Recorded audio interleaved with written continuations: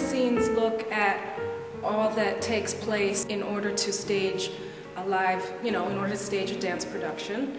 It's the making of a dance concert, but they're going to be little skits or stories that are love related, interspersed, I don't know if that's the right word, you know, throughout, throughout the, um, the project.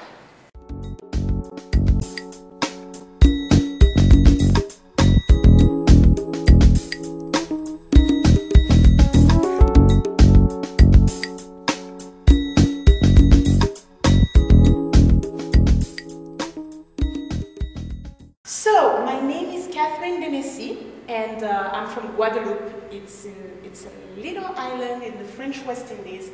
And I've been in the US since 2004, so it's four years now, and, and uh, going to school. And now I'm, I'm dancing with a company, uh, Urban Bush Women, which is the great way I met Maia. And now we work together, and I'm loving it.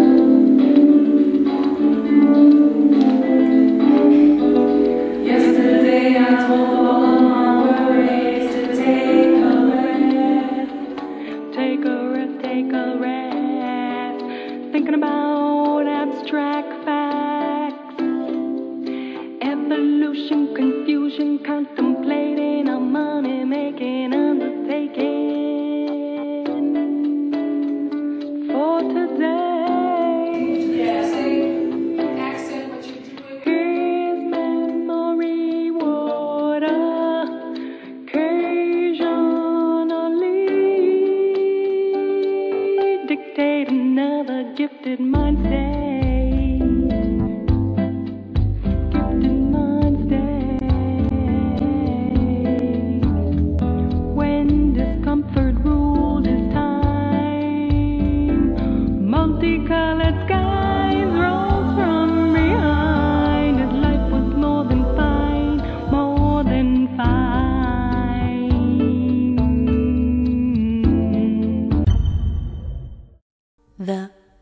fallen leaves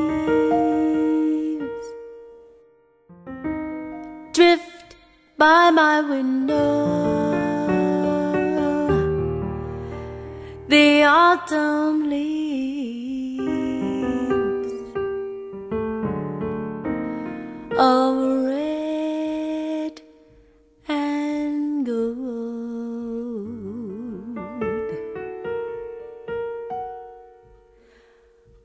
I see your lips. existing in a relationship is a dance in itself you know it's a it's a the dance of love you know and so i'm in the middle of that i'm in the midst of that of that right now You can't just go and say, oh, I'm going to Africa. let's start planning just recently i had asked him you know if we could exchange apartment keys so you're not ready i mean like why wouldn't you just tell me that Right, some, some, something, something like that. But I'd given him my keys, and he was like, okay, your keys are coming, I'm making them, blah, blah, blah, you know. So I was waiting for him to pass me the keys, whatever. Just like a week was going by, two weeks, I wasn't seeing, you know, the keys coming from him. You know what I'm saying? It's like you've been fibbing or something. Or Right. Well, that's not fair.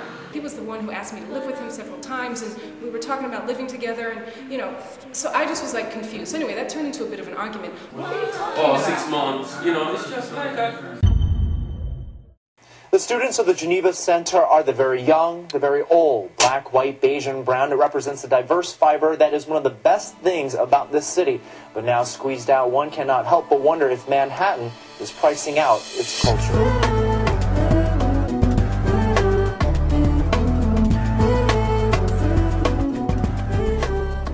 So the school is closing. Djoniba School of Dance and Drama is closing today. Like today is the last class, and I bet like all of the students are going to turn out, and it's going to be like 50 people in that studio, like as this to celebrate like the last class at this center, the center that's been open for 15 years, closing down today.